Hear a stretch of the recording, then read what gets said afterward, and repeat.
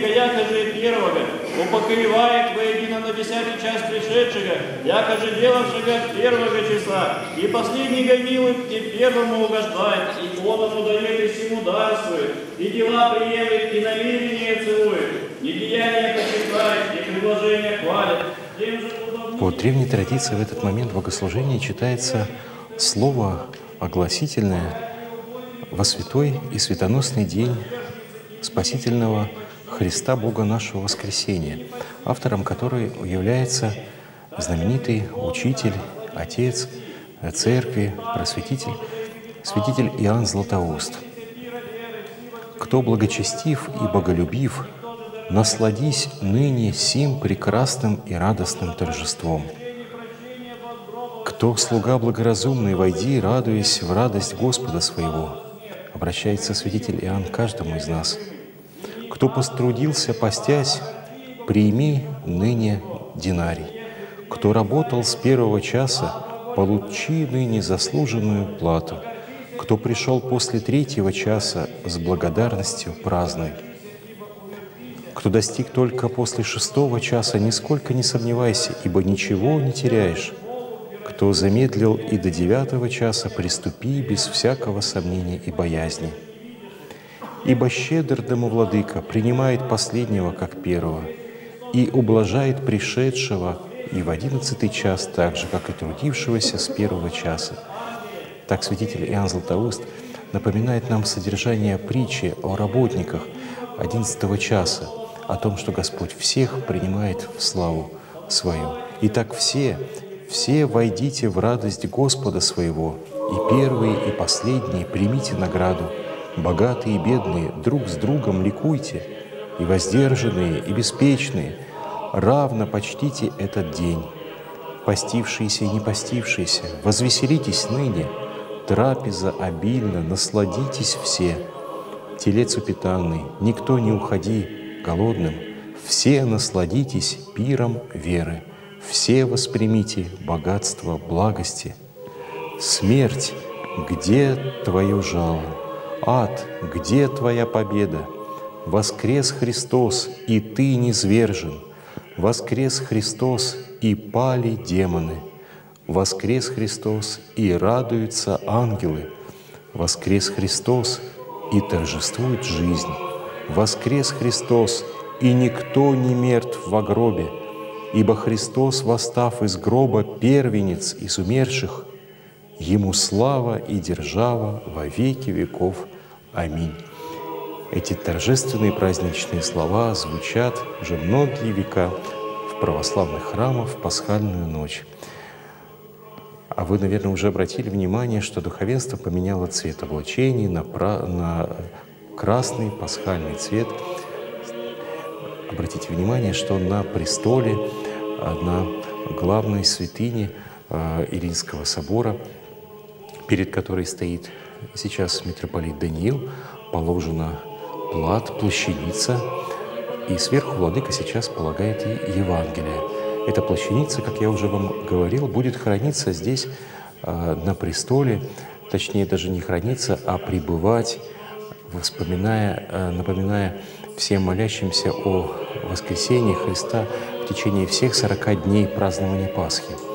Эта плащаница словно переносит нас в Иерусалим, на то место, где Христос совершил свою искупительную жертву, а даже точнее к тому месту, где Христос воскрес. Кто когда-либо бывал на Святой Земле, в Иерусалимском храме Воскресения Христова, навсегда запомнит эти секунды, эти минуты.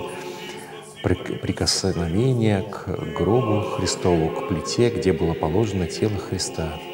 Именно на этой плите в Великую Субботу, буквально вчера, благодатный огонь зашел, осеняя и озаряя все человечество благословением Божиим. И вот эта плащаница, она не находится в каждом храме. Плат, изображающий положение Христа в гробе. И да, эта плащаница не лежит на гробе Христа. Да, мы не в Иерусалиме, не в Кувукле, но духовно мы стоим, находимся там. Духовно мы предстоим пред Богом и прославляем Его, воскресшего по всему миру.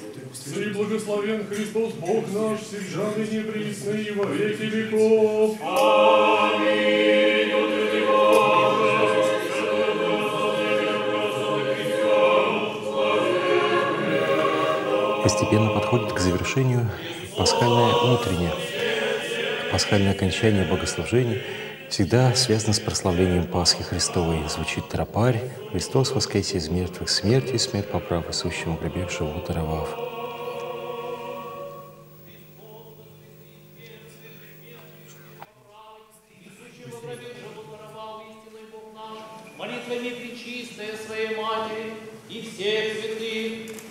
завершилась пасхальная утренняя и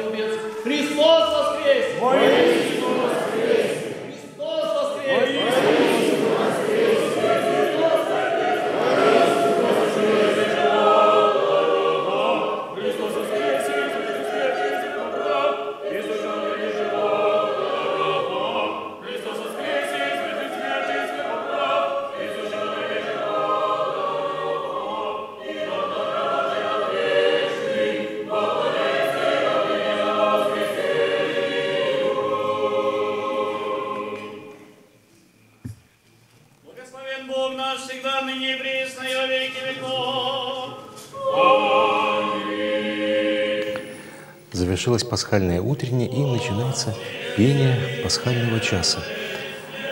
Часы — это краткие богослужения суточного круга. А, в канонах, в богослужебном уставе Русской Православной Церкви существует несколько таких кратких богослужений часов. Первый, третий, шестой и девятый часы.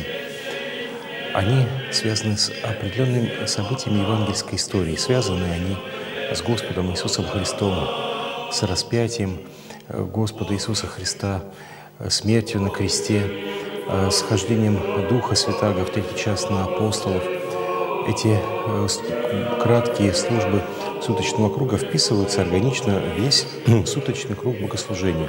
Но начинается круг богослужения с вечерней. Вечерняя, после нее совершается келейно по вечере, то есть не в храмах, а обычно по монашескому уставу в кельях, дома – верующие читают по вечере. Раньше по вечере э, читали все, и, э, и священнослужители, и миряне. Э, читалось вместо вечерних э, молитв с особыми канонами.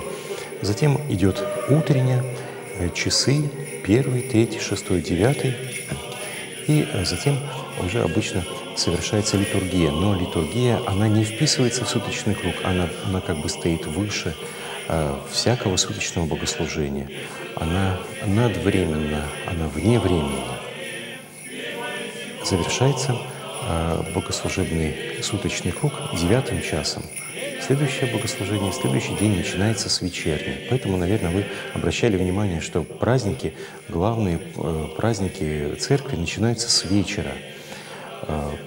Э, как раз в эти э, вечерние торжественные богослужения совершаются и читаются песнопения праздничные. Ну, а особо главные праздники совершаются не просто вечером, а в ночь. Ночные богослужения звучат и совершается, как вот и пасхальное богослужение, как богослужение в праздник Рождества Христова, иногда в праздник Крещения Господня совершаются также ночные богослужения. Ну, а пасхальные часы, которые сейчас совершаются, также прославляют Господа Иисуса Христа, звучат пасхальные гимны. Пока совершаются пасхальные часы, в алтаре совершается проскомидия, то есть первая часть богослужения, которая переводится как «приношение», в это время на жертвеннике э, готовится э, специально хлеб из э, просфоры, из большой просфоры, вырезается агнец. Из особых просфор вынимаются частицы в память преблагословенной Девы Богородицы, в память девяти чинов святых, святого Иоанна Притечи, пророков, апостолов, святителей, мучеников, преподобных, бессребренников. Вспоминаются Э, основателей, просветителей православной церкви, князь Владимир, равноапостольная княгиня Ольга. Вспоминаются святые, которые полагают, положены э, память в сегодняшний день, а также вспоминается и автор литургии Ян Златоуст. Вот по девяти чинам и вынимаются частицы из особой просфоры, которая так и получила название в церкви «девятичинная просфора». Еще вынимаются частицы из просфор в честь живых и усопших. Те записки, те молитвенные прошения, которые подают православные христиане в храме, сейчас используются, они прочитываются в алтаре в течение совершения проскомидии, на часах, а священник вынимает частицы э, за тех людей, частицы хлеба, частицы просфор, вот этих, этих, а, этого хлеба, приготовленного для литургии, чтобы потом эти частицы погрузить в чашу Христову. Во время э, вынимания частиц священник молится о том, чтобы Господь помянул, благословил, посетил милостью своей всех тех, кто просит о молитве. Пока совершается э, богослужение проскомидии, первая часть литургии, продолжается пение пасхальных часов –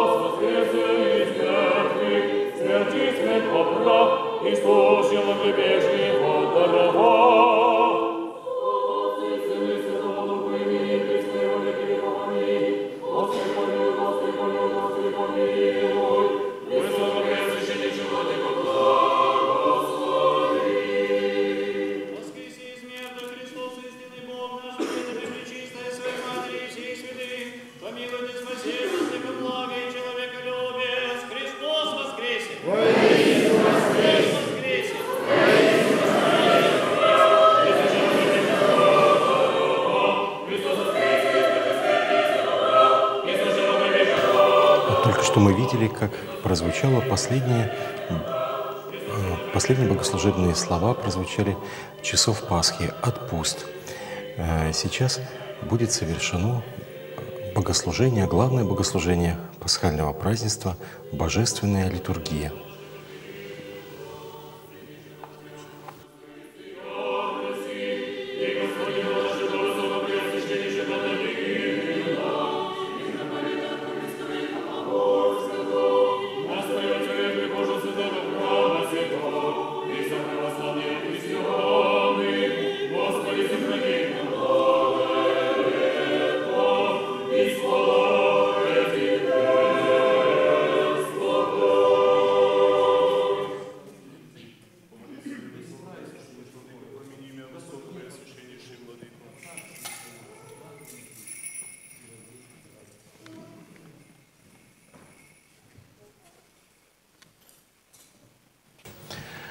Полной тишине, в безмолвии готовится духовенство и все прихожане к молитве Божественной литургии.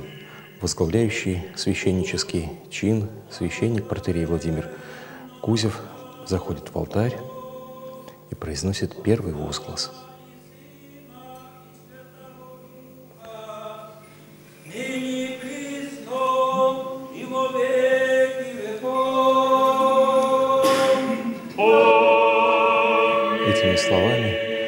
Словами прославляется благословенное Царство Отца и Сына и Святаго Духа. И вновь пасхальное песнопение «Христос воскресе из мертвых смертью, смерть поправ и сущим во гробех живо даровав». Напомню, что это песнопение называется «Тропарь праздника Пасхи».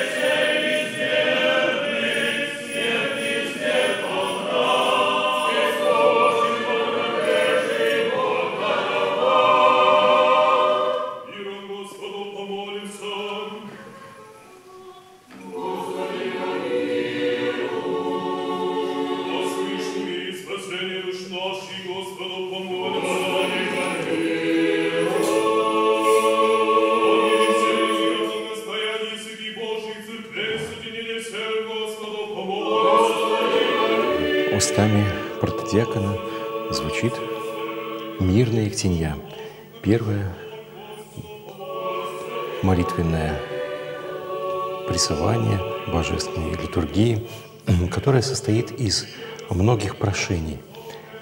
Мирная Ектинья обращена Господу от лица всех собравшихся в храме православных верующих.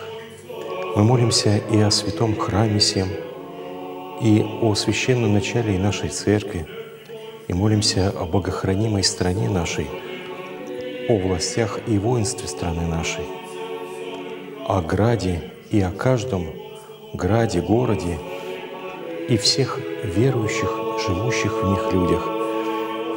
В мирной тени мы молимся и о благорастворении воздухов. Этими красивыми словами мы подразумеваем дарование нам доброй, благоветливой погоды, климата, который бы необходим был земле нашей, и и каждому человеку для доброго жительства. Мы молимся и о плавающих, и о путешествующих, и о болеющих, недугающих, и о страдающих, и о плененных, находящихся в узах, в заточении, и молимся о спасении всех людей, нуждающихся в помощи Божией. Мы молимся, чтобы Господь избавил нас от всякой скорби, от гнева, страстей и всякой нужды. Мы молимся, чтобы Господь заступился за нас, защитил нас, сохранил нас своей благодатью.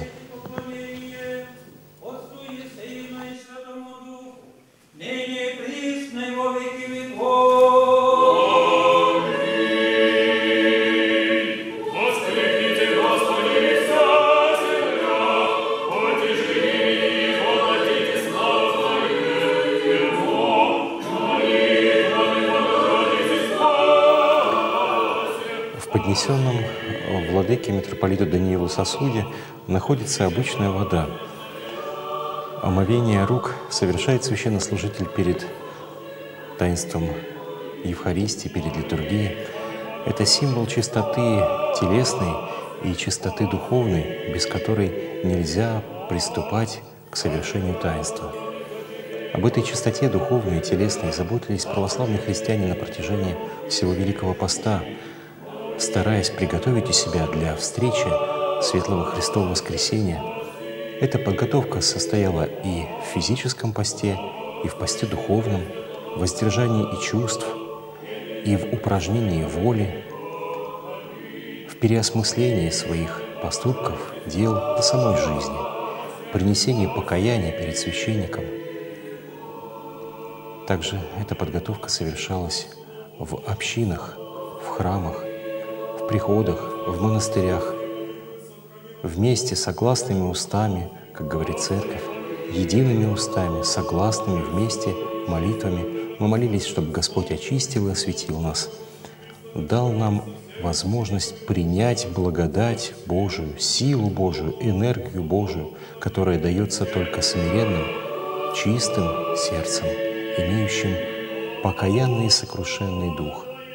Но ныне в пасхальную ночь нет времени грусти, нет времени глубокого и непроходящего, непроходящей скорби, потому что Христос восстал от мертвых, и все мы, все человеческое естество, все человеческая природа, соединившись с Богом во Христе, ведь Христос был Бога человеком, празднует воскресение. Никто ранее, нигде во всей истории человечества не воскресал так, как воскрес Спаситель Христос. Событие Его воскресения было предсказано многими пророками многие века. Библейские тексты доносят до нас эти дивные слова. Духом Святым было предсказано, что человечеству будет послан Спаситель, который спасет нас от насильства плоти, от насилия греха и следующего за ним болезни и смерти.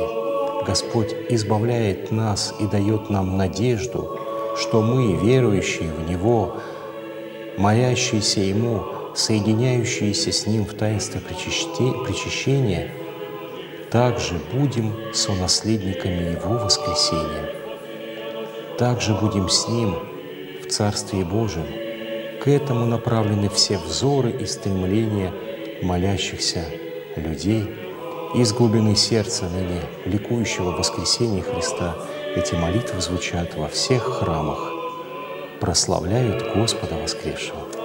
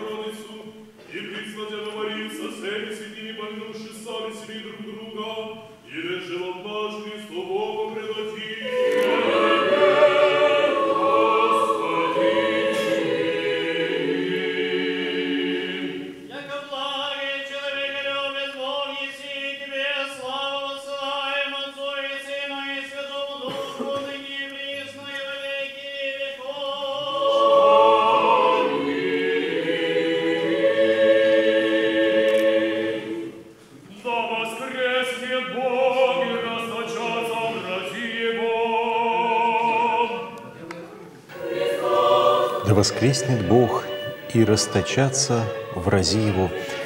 Эти слова из книги, библейской книги «Псалтырь», пророчество о воскресении Христа звучат ныне и продолжает божественную литургию. Совершается пение третьего антифона, во время которого духовенство из алтаря выходит на амвон, на солью, то есть на место перед иконостасом, центральное торжественное место с Евангелием в руках, символически изображая, как и некогда Господь вышел на проповедь, вышел, пришел к людям для того, чтобы возвестить нам свои слова, чтобы явить нам самого Бога.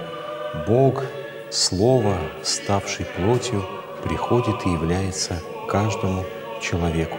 И все мы, видя это Евангелие, можем видеть Христа.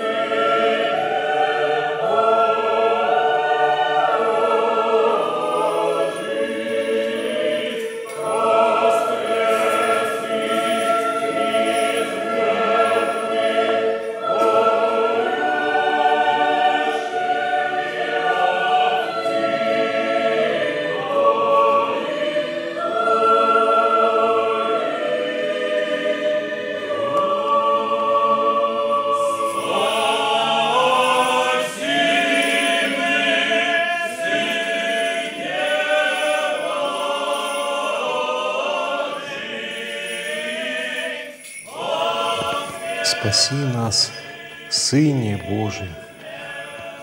Такими песнопениями прославляет духовенство в алтаре Господа и Спасителя нашего. Спаси меня, Сыне Божий, воскресы из мертвых, то есть воскресший из мертвых, поющих Тебе «Аллилуйя, Аллилуйя, Аллилуйя». Слово «Аллилуйя» еврейское и может переводиться как хвала, благодарение Богу с этим песнопением митрополит Даниил совершает кождение храма, кождение алтаря. В руках он держит кадила, символически изображающее кадильный жертвенник, использовавшийся в древнем Иерусалимском храме для принесения жертв Господу. Сейчас в кадиле находится раскаленный уголь, на который полагается освященная благовонная смола.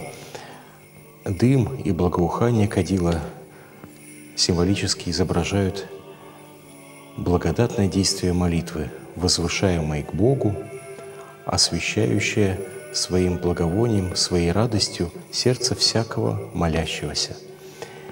И это же действие напоминает о принесении Богу жертвы, готовить всех приходящих, пришедших в храм и находящихся в алтаре к совершению таинства Евхаристии –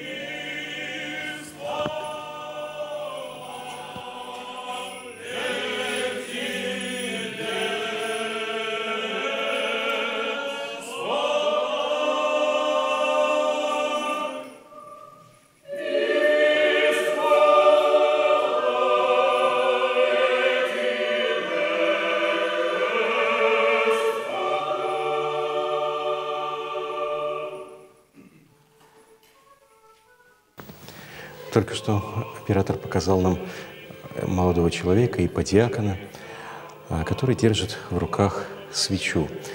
А, да, наверное, вы уже обратили внимание, что богослужение, которое совершает митрополит, правящий архиерей, отличаются от тех богослужений, которые совершаются священниками в храмах. Архиерейское богослужение, оно наиболее торжественное, оно наиболее древнее, оно Э, имеет такие элементы, которые не имеют рядовое богослужение в обычных храмах. Мы видим, как перед царскими вратами стоят э, молодые люди в красных стихарях, в облачениях. Они держат один жезл, это металлический посох с э, изображением змей как символа мудрости, двух змей как символ Ветхого и Нового Завета. И видим, как держится большая свеча, которая называется примикирий. Этот символ Э, той свечи, который э, держит сам э, совершающий богослужение митрополит. Эта свеча является признаком совершения богослужения архиереем, возглавляющим епархию. Как вы знаете, Архангельская и Холмогорская епархия является одной, одной из четырех епархий, входящей в состав Архангельской митрополии – Главой Архангельской митрополии является митрополит Архангельский и Холмогорский Даниил. А, кроме этого, в Архангельской митрополии а, есть епархии Архангельская, а, Наринмарская, Мизенская и Котловская, Вельская. И недавно была образована новая епархия решением Священного Синода, выделившаяся из состава Архангельской епархии, Плесецкая и Каргопольская епархия. А в алтаре Свято-Илинского кафедрального собора звучит песнопение «Елицы во Христа крестистися, во Христа облекостися, Аллилуйя! Те, кто во Христа крестились, во Христа облеклись, оделись».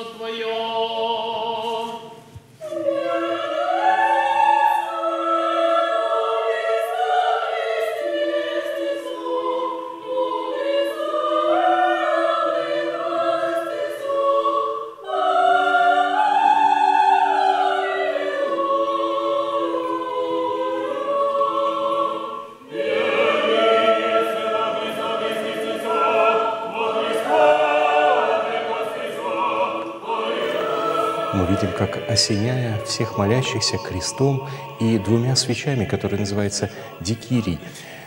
Владыка заходит в алтарь и сейчас проходит на горнее место, центральное место алтаря, которое мы, к сожалению, с вами не видим, но я вам расскажу, что сейчас происходит.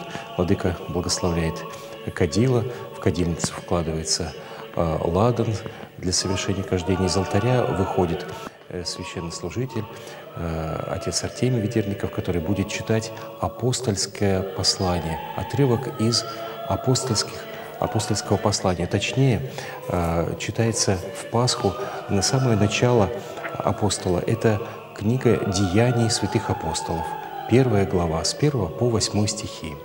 Давайте послушаем.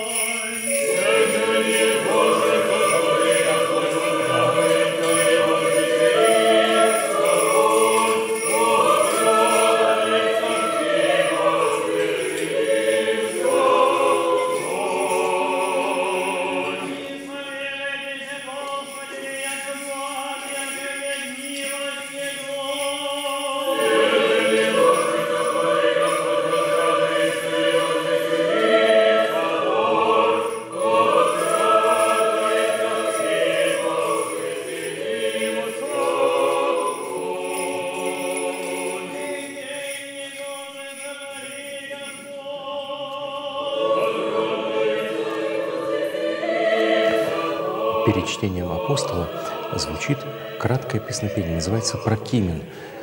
«В сей день, который сотворил Господь, возрадуемся и возвеселимся».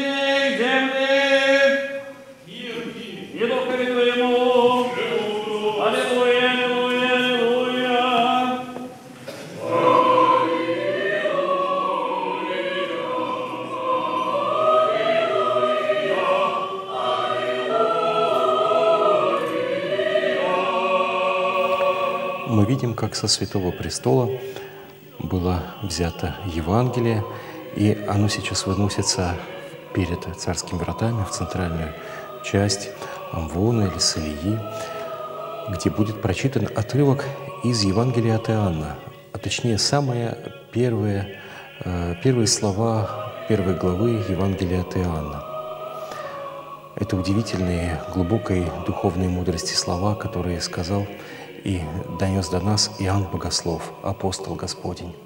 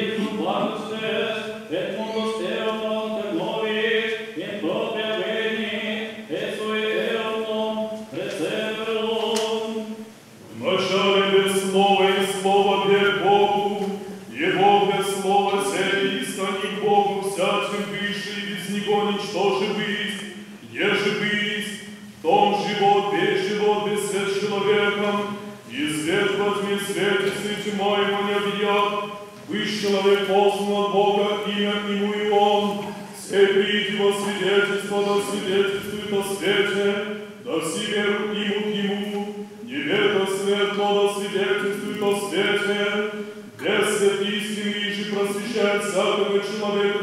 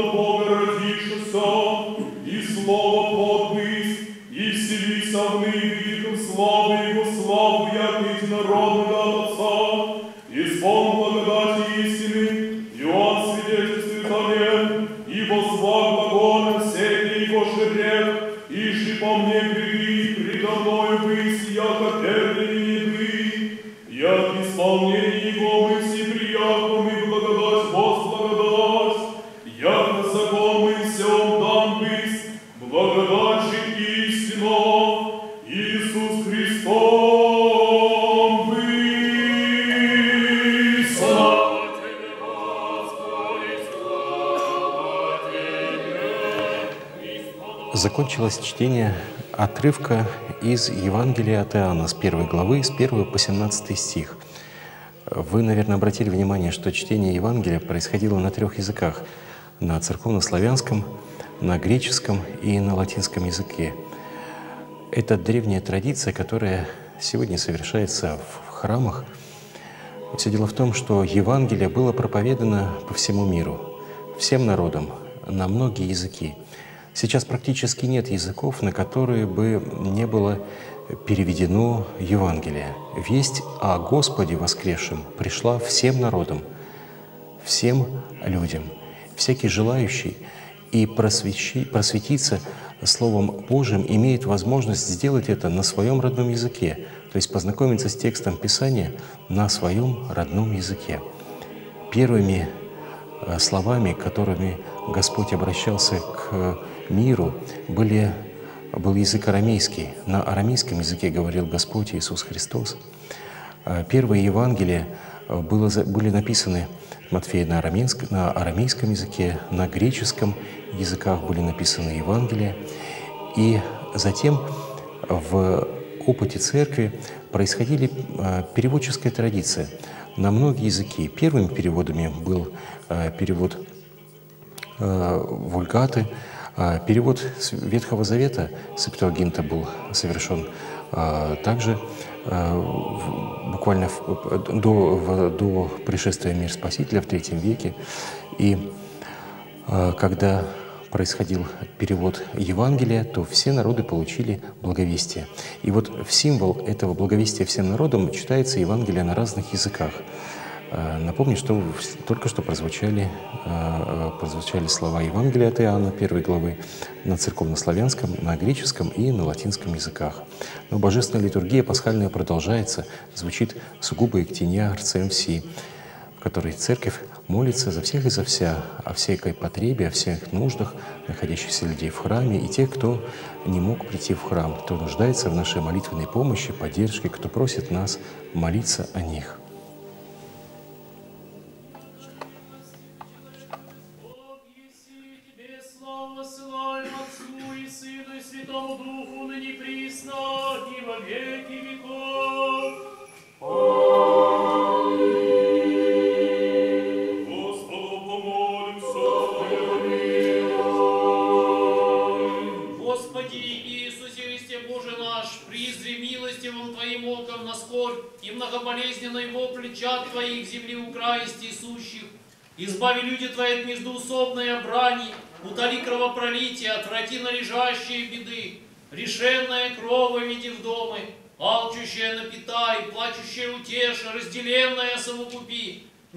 Стада своих сродник своих во озлоблений сущих умалитеся, но скорое примирение ко щедро даруй, ожесточенных сердца умягчи их Твоему познанию обрати, мир церкви Твоей и верным чадом я подашь, да единим сердцем и едиными усты прославим Тебя, Господа и Спасителя нашего во веки веков. Молитесь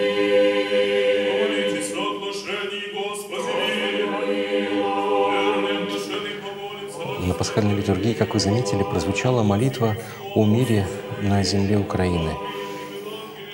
Мы молимся и ежедневно совершаем молитву о том, чтобы Господь был милостив в церкви своей и разделил расточенных, умудрил, вразумил, просветил и даровал милость свою братскому народу Украины, который сейчас совершает вместе с нами праздничные пасхальные богослужения. Зазвучали и к тени об то есть об оглашаемых, о людях, тех, кто готовится к святому крещению. Э, это три иктини, э, произнесение которых – закончится и начнется совершение херувимской песни. Песни, которая призывает всех нас быть подобными херувимам, ангелам, возвышаясь молитвой и сердцем к Богу, приносить Господу жертву.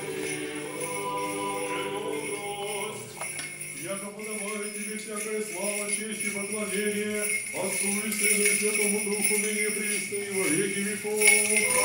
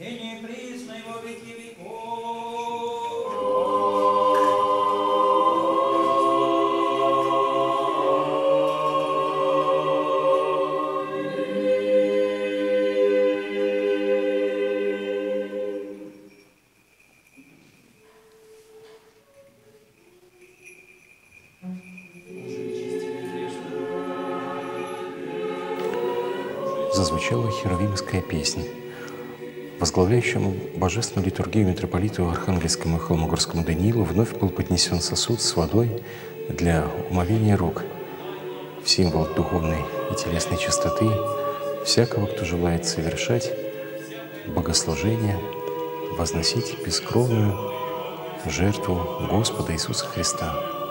И мы, как херувимы, тайно образующие и животворящие Троицы Три Святую Песни, припевающие всякое ныне житейское, отложим попечение –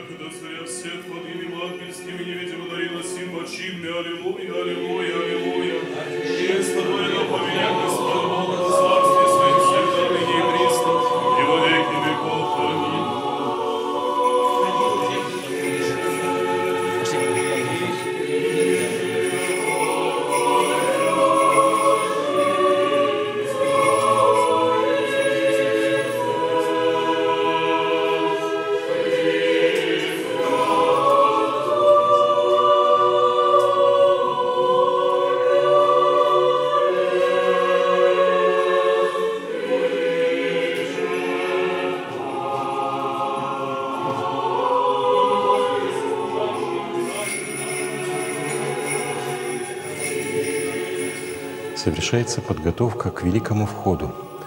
Духовенство от Святого Престола подходит к жертвеннику, подходит к правящему владыке и просит его помянуть их и всех здесь молящихся, возглавляющий диаконский чин, иродиакон, отец Раст совершает кождение, ему на плечо положен воздух, покрывало, которым будут покрыты богослужебные сосуды с хлебом и вином, которые станут телом и кровью Христа. Сослужащие, находящиеся в алтаре и подьяконы, готовят для изнесения из алтаря облачения митру, амафор, трикири и дикири, свечи. Духовенство с молитвой принимает от владыки дискос – особое плоское блюдо, на котором положен агнец, вырезанный из просфоры, хлеб, а также принимает чашу с вином и водой, символ той крови и воды, которая излилась из ран Спасителя, будучи прободенным на кресте, осеняет это торжественное шествие духовенства – репиды, изображающие херувимов, сияние и славу, круги, на которых изображены ангелы, которых подьяконы выносят вместе с трикирием и дикирием, вместе с молитвенным шествием сошествуют невидимо и незримо. Ангельское воинство, сослужащее – вместе с земной церковью, Церковь Небесная.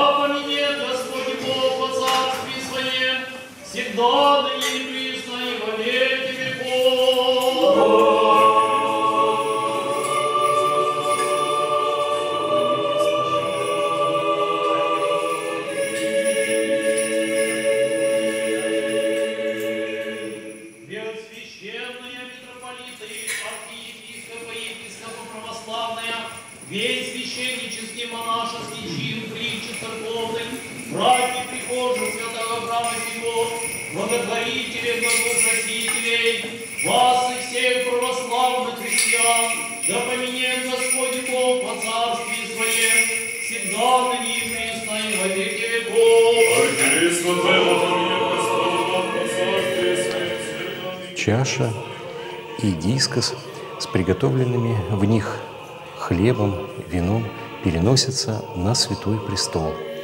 Духовенство совершает это перенесение снимает сосудов покровы, воздухи. Звучат молитвы, которые вспоминают, как благообразный Иосиф снял со креста тело Господа Иисуса Христа, снял и положил его в гробе и покрыл пеленами, и умастил благовониями, так и сосуды покрываются пеленами, покровами, воздухом на Святом Престоле. Перед ними совершается кождение. Мы вспоминаем то, как тело Христово было положено в гроб.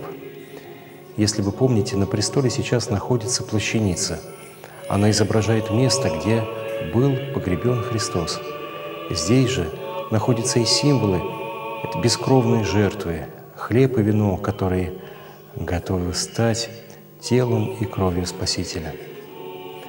Мы молимся, чтобы Господь сподобил нас без порока, достойно совершать божественную литургию, чтобы Господь осенил эти приготовленные хлеб и вино и соделал их по слову своему, по своей заповеди непреложной, и соделал их телом и кровью Своею. Возглавляющий диаконское служение Иродиакон произносит молитву «Исполним молитву нашу Господеве», то есть восполним, сделаем, принесем ее в полноте.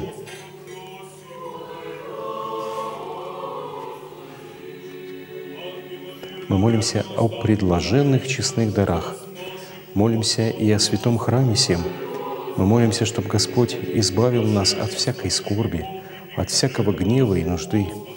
Мы молимся, чтобы Господь сохранил и заступил нас пред лицом всякой беды и напасти. От всякого зла бы избавил нас, а благодатью Свою осветил бы нас.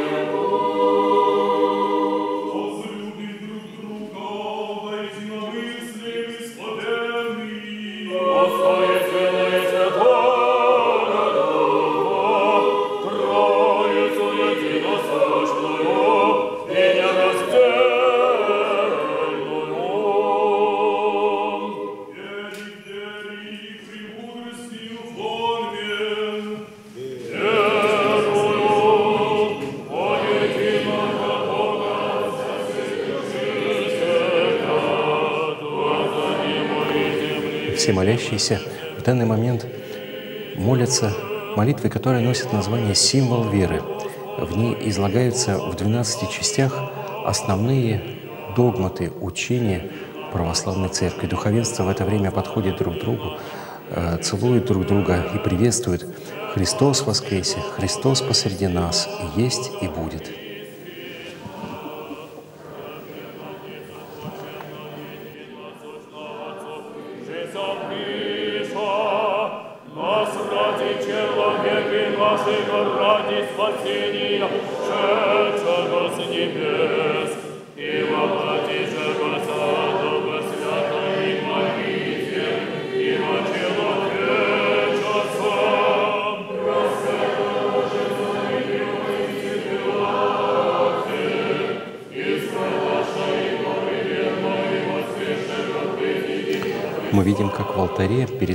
Престолом духовенство колеблет покров, воздух э, над головой склонившегося перед престолом владыки Даниила.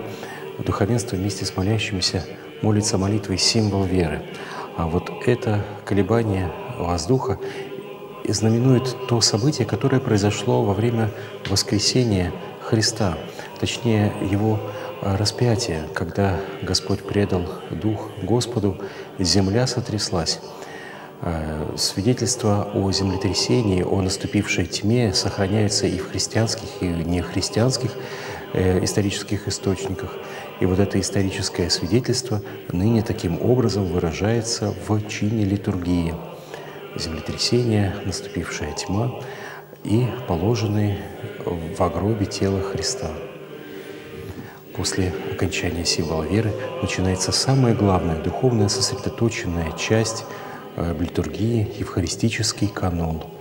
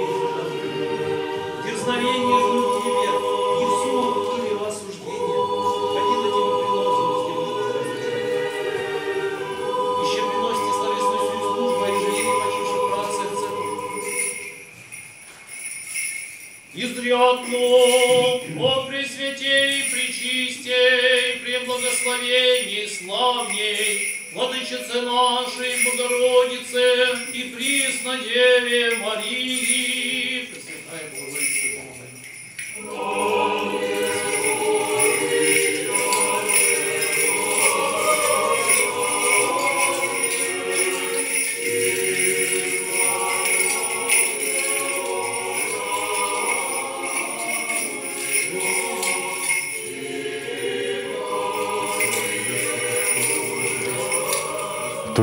Прочитаны главные благословляющие, освящающие молитвы, в которых Церковь молится о приложении хлеба и вина в истинное тело и кровь Христову. Прозвучала молитва, прославляющую Пречистую Деву Богородицу Марию. И далее следуют особые молитвенные прошения. Сейчас в алтаре духовенство молится о каждом из здесь находящихся. Молится о священном начале и о властях и воинстве нашем. Молится и о благорастворении воздухов, и о добром погоде, и о временах мирных, и о всех тех жертвователях, кто трудится в церкви, кто совершает свое служение в Отечестве. Мы участвуем в этот момент в важнейшем поминовении. Иногда говорят, что совершается словно вторая проскомидия. Помните, когда во время проскомидии священник вспоминает всех святых, живых и усопших, также эта молитва повторяется и в этот момент, перед истинными телом и кровью Христовыми. Священник совершает молитву. Его же даруй святей Твоей церкви, мире цело, честно, здраво, долгоденствующее, правоправяще слово Твоего истины. Помяни, Господи, и Господина нашего, высокопреосвященнейшего Даниила, митрополита Архангельского Хомоводского, же даруй святей Твоей церкви, в мире цело, честно, здраво, долгоденствующа, правоправяща слово Твоя истины. И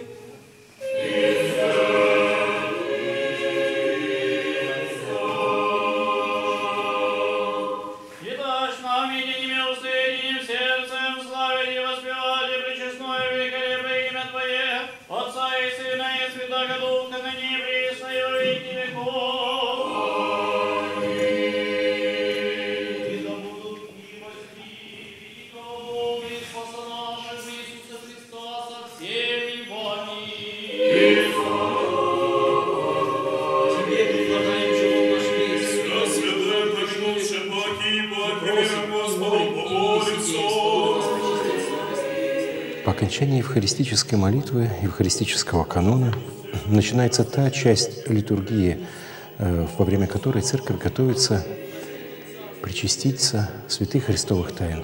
Все духовенства и молящиеся молятся о том, чтобы Господь сподобил нас совершиться и стать участниками этого великого таинства.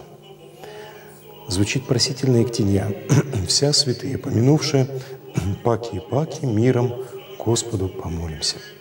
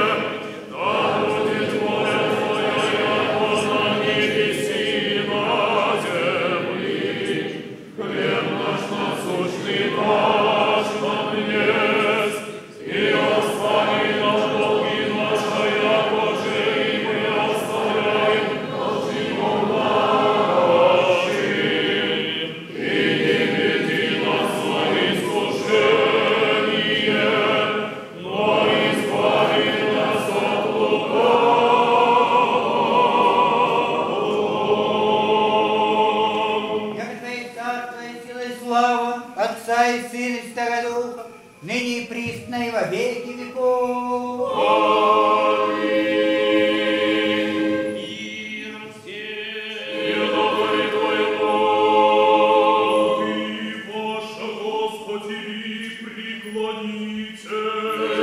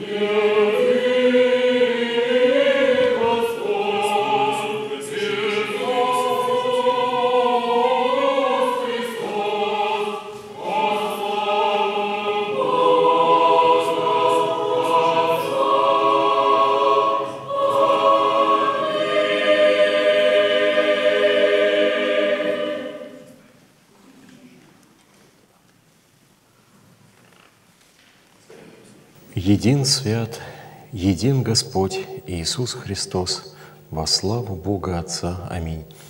Этими словами мы переходим к подготовке к причащению духовенства и мирян. Сейчас в алтаре духовенство готовится принять тело и кровь Спасителя.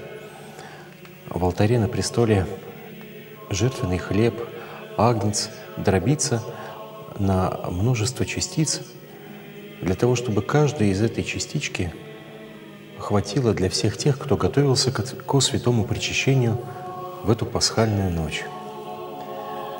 Несмотря на совершающейся в причащении, мы видим, что царские врата открыты. И царские врата, и диаконские двери в иконостасе, в храме открыты. Это символизирует о том, что Христос своим воскресением открыл для нас вход в Царство Божие, в Царство Небесное. Явившись своим ученикам по воскресении, Господь даровал нам радость жизни вечной, радость бесконечного общения с Богом, и радость, и возможность соединяться со Христом воскресшим телом и кровью. Всякий причастник, тот, кто готовится к причащению, готовится принять в себя истинное тело и кровь Христа. Христос снова является для каждого из нас уже не в слове, но в своей плоти и крови. Господь приходит к каждому из нас для того, чтобы осветить нас, чтобы дать нам самого себя. Ибо христианство — это сам Христос. Христианство не есть только учение. Христианство основано на Слове, на Слове Божьем, но является чистым исповеданием живого Господа, Бога, в Троице славимого Отца и Сына и Святого Духа. В сегодняшнюю пасхальную ночь мы вспоминаем, как Господь являлся своим ученикам и апостолам. И очень интересно было бы восстановить для себя ту хронологию, последовательность пасхального утра. Воскресение Христова совершилось в первый день после субботы, после субботнего покоя, который совершается по иудейскому закону. Итак, после субботнего покоя к гробу, к той пещере, где был погребен, погребено тело Господа Иисуса Христа, идут жены мироносицы. Они несут с собой масло, лампады, светильники. И, подходя к пещере, недалеко от Голгофы, они видят, что гроб открыт.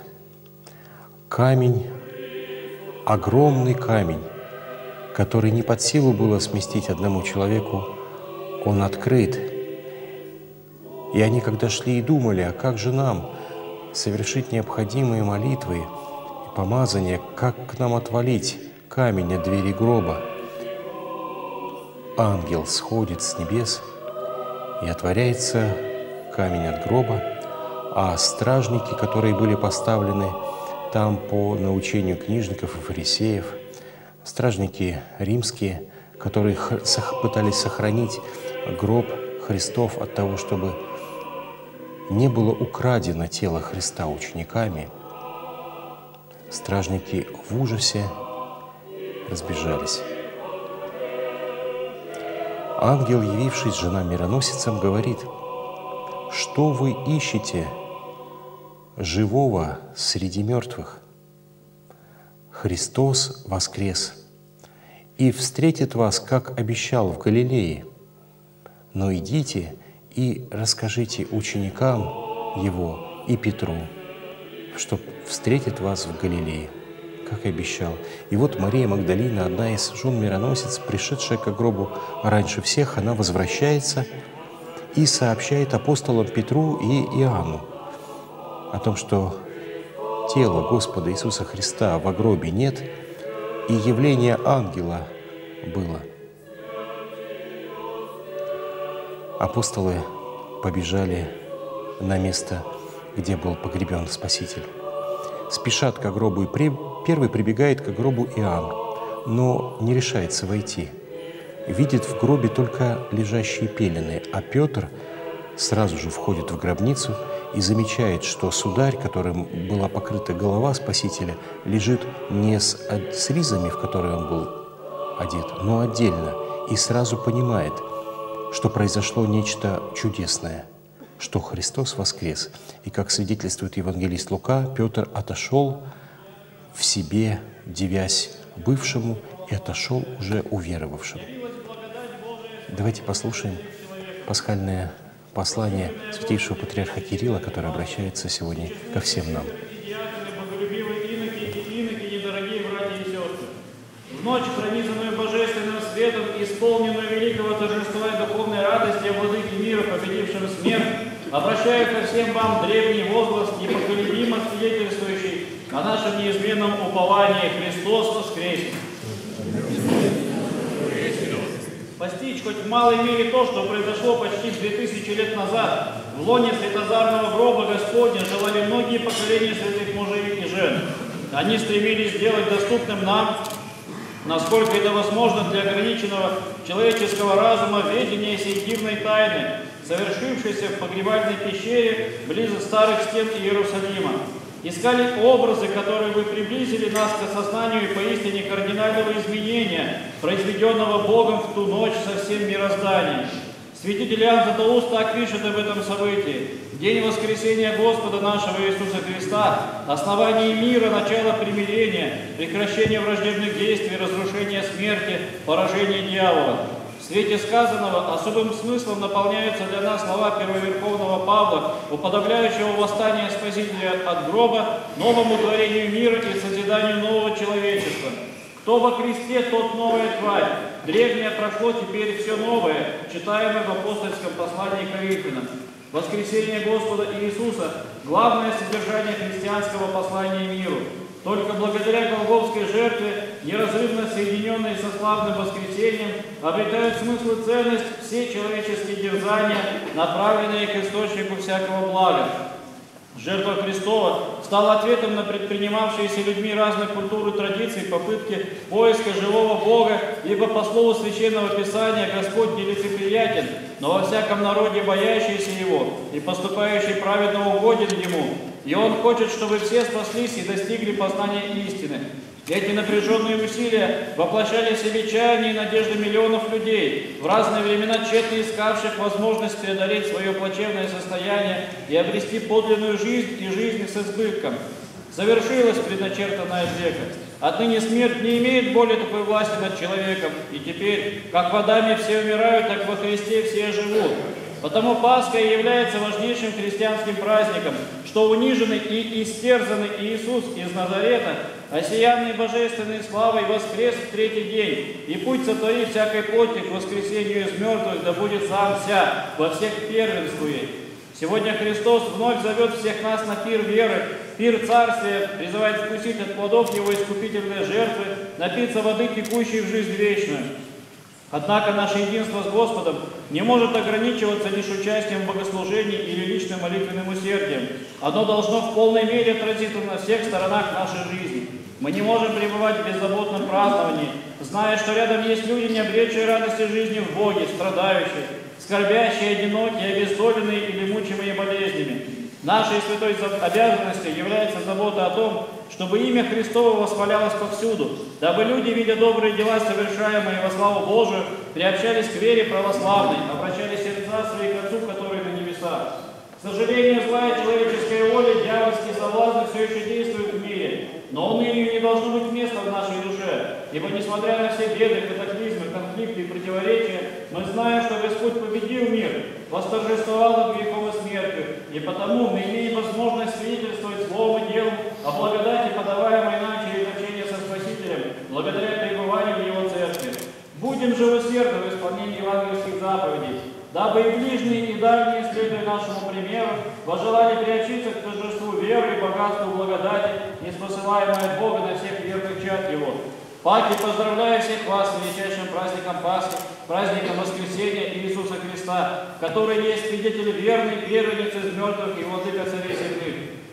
Ему, возлюбившему нас и омывшему нас от грехов наших кровью своей, и соделавшему нас царями и священниками Богу и Отцу своему, слава и держава во веки веков. Аминь. Воистину воскресе Христос, Патриарх Московский и всея Руси Киев, Москва, Пасха Христова 2017 года. Со страхом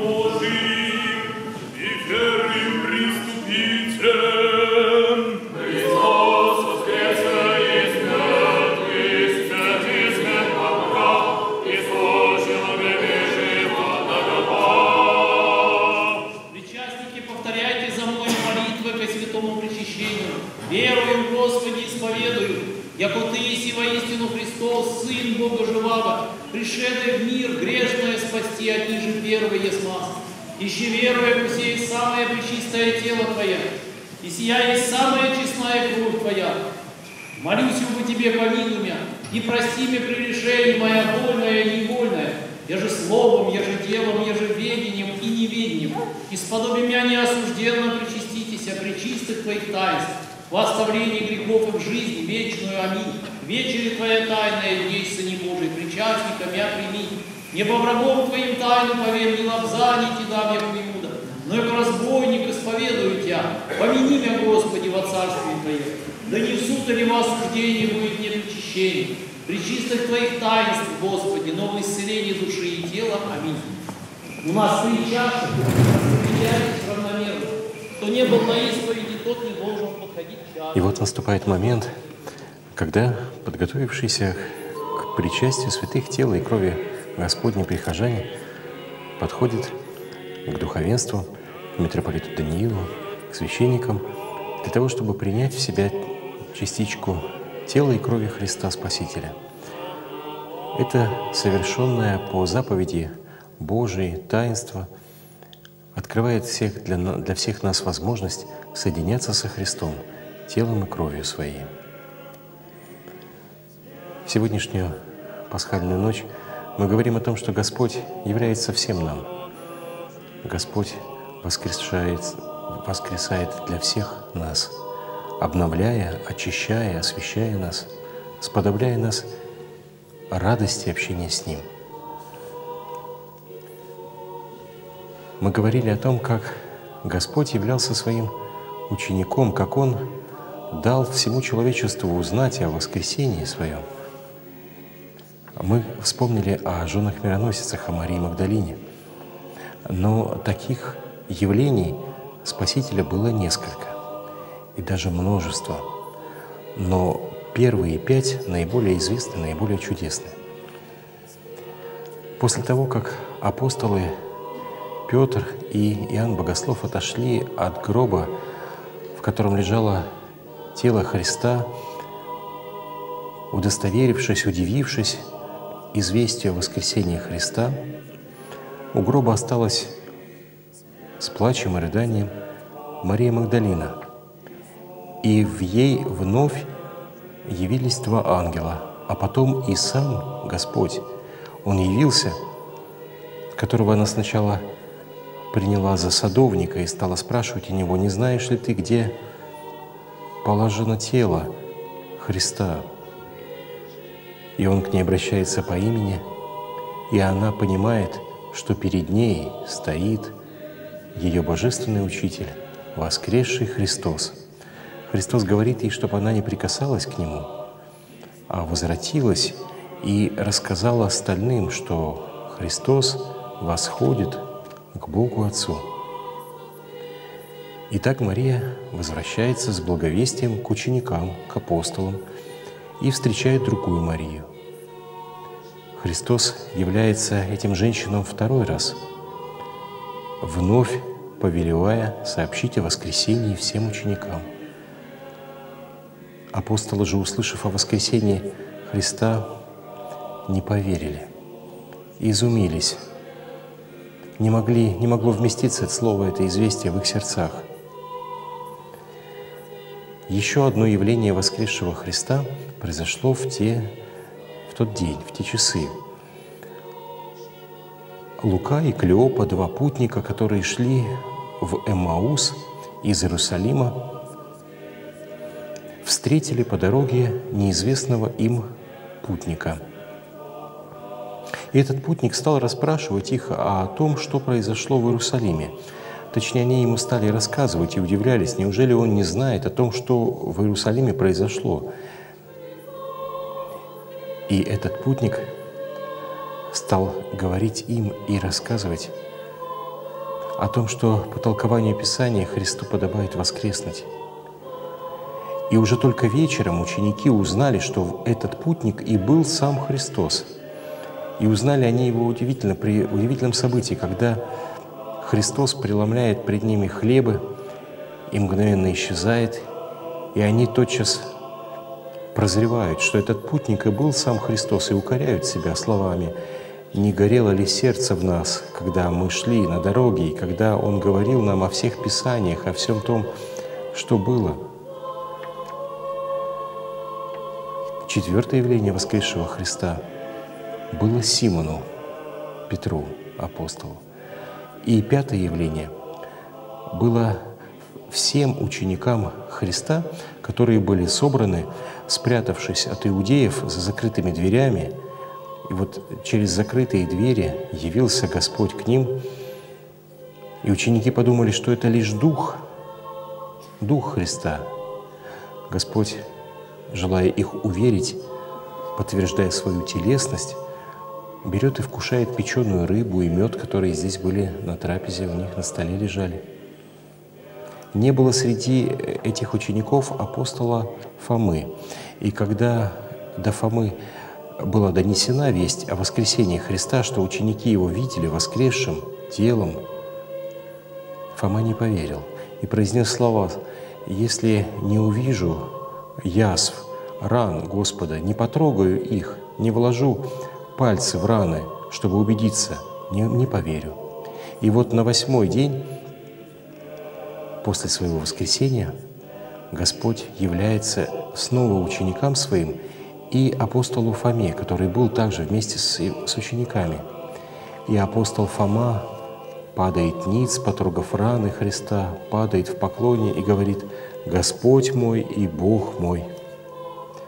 Господь укоряет его неверие словами «Ты сказал так, поверил, потому что увидел» но счастливы не видевшие и верующие.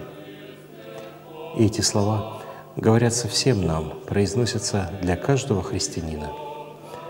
Праздник Пасхи будет продолжаться в течение 40 дней. напомню, что в течение первой недели пасхальной седмицы особо праздничное, радостное торжество во всех храмах будет совершаться. Те православные прихожане, которые совершали пост, постились старались готовиться к святому причащению, могут причащаться на Светлой Седмице, не совершая поста телесного, прочитывая пасхальное молитвенное правило, подходя к исповеди, на исповедь к священнику, причащаться святых Христовых тайн. И к этому, дорогие братья и сестры, мы призываем всех вас, чтобы и сердце вас, ваше озарилось радостью праздника, чтобы Господь соосенил вас – и всех ваших близких, и детей, и старцев своим благодатным освящением радости Пасхи Господней. Божественная литургия продолжается, и звучат благодарственные молитвы по святому причащению. А чаша, в которой находится тело и кровь Христа, торжественно переносится с престола на жертвенник, напоминая нам о вознесении Спасителя на небо.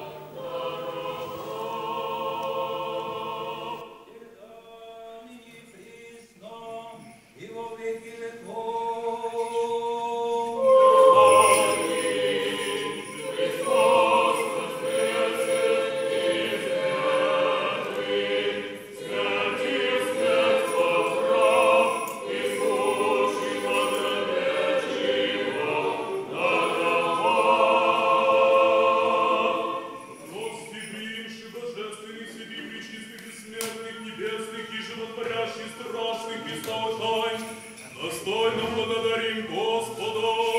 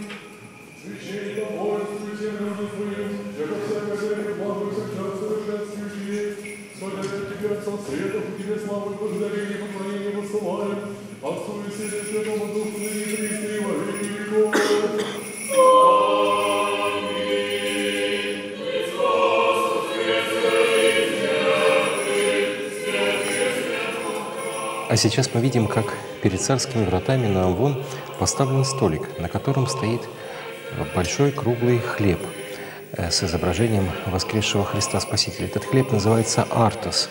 Из греческого э, дословно переводится «квасной хлеб». Он будет находиться в храме в течение всей Светлой Седмицы, и в субботу на Светлой неделе он будет разделен, раздроблен и роздан всем желающим.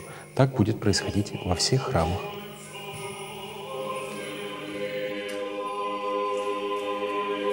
Боже всесильный, Господи Вседержителю и же рабом Твоим Моисеем, во исходе Израилева от Египта, во освобождении людей Твоих, от горькие работа фараоновой, амца заклати повелел Иси, прообразуя на кресте закланного волю нас, деля о акца, вземлющего всего мира грехи, возлюбленного Сына Твоего, Господа нашего Иисуса Христа. Ты и ныне смиренно молим Тебя, призри на хлеб сей, и благослови, и освети его, ибо и мы, раби Твои, в честь и славу воспоминаний славного воскресения Твоего, Сына, Господа нашего Иисуса Христа, им же от вечной работы вражия и от адовых нерушимых уз свободу и приведение получихов пред Твоим величеством ныне, во всесветлый день, преславный и спасительный день Пасхи сей, приносим нас же всего приносящих и того лобзающих, и от него кушающих Твоему небесному благословению причастники быть и сотворить, и всякую болезнь, и недуг от нас Твоею силою отжени, здравие всем подавай, Ты выси источник благословляния, цельбам, податель Тебе славу посылай, безначальному Отцу единородным Твоим Сыном, Пресвятым Владимиром, парящим Твоим Духом, и присно, и во веки веков.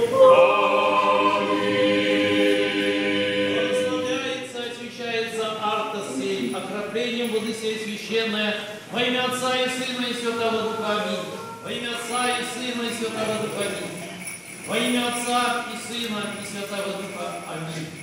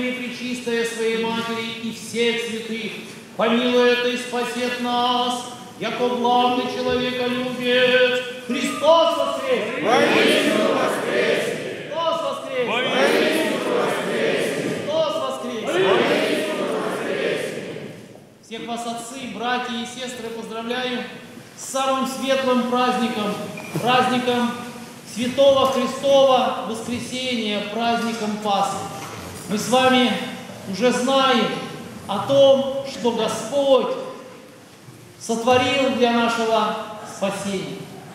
Как Он взошел на крест, как Он искупил всех нас, как Он не оставил тех людей, которые жили во времена еще до нас с вами, вместе с Адамой и Евой, и всех их вывел и возвел в свои райские обители.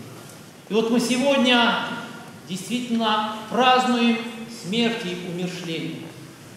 Мы празднуем торжество жизни, но вместе с тем смерть остается на земле. Что это за смерть? Эта смерть называется грехом. Чем человек ближе к греху, тем ближе он к этой временной, не вечной смерти. Но если он не покается, то он так и останется, бедняга, в этом состоянии смертном. И вот для того, чтобы мы не просто жили на этой земле и довольствовались то, что мы христиане, У нас задача просвещать других людей. Как главным образом их просветить? Отцы церкви отвечают на этот вопрос следующим образом, в первую очередь своей жизнью.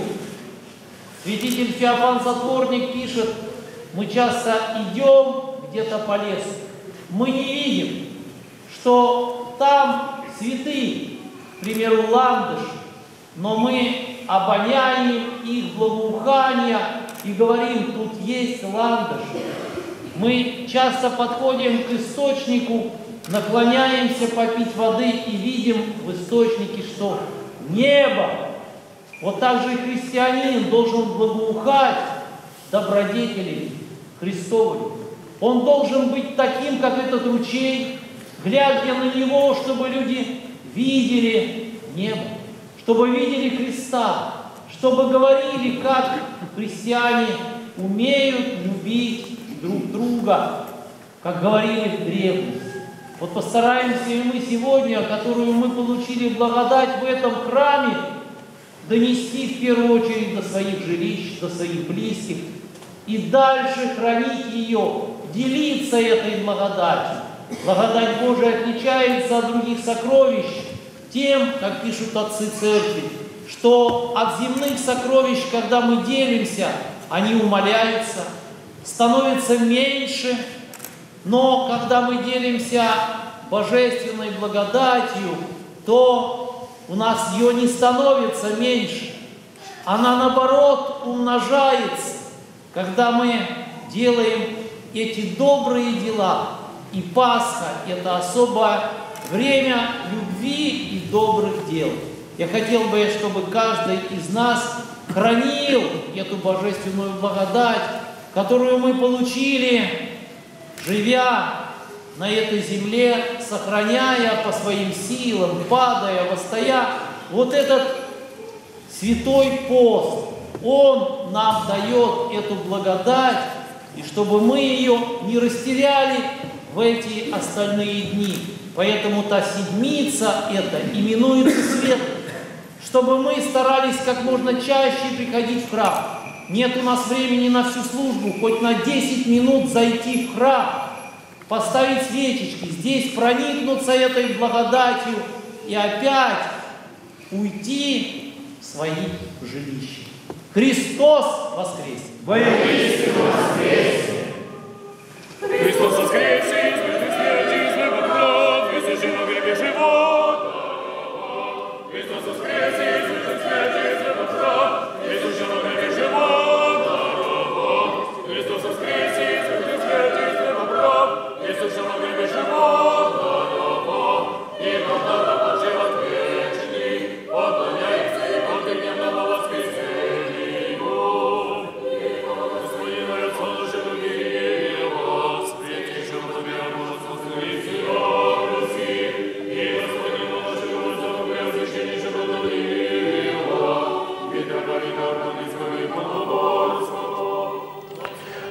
Словами проповеди митрополита Даниила завершается праздничное пасхальное богослужение. Позвольте мне поздравить всех вас с праздником Светлого Христового Воскресения, пожелать вам помощи Божией, благословенных трудов на благо Церкви Христова, Отечества нашего, ваших близких. Христос воскресе! Воистину воскресе! С вами был священник Валерий Суворов, настоятель Воскресенского храма острова Ягры, города Северодвинска.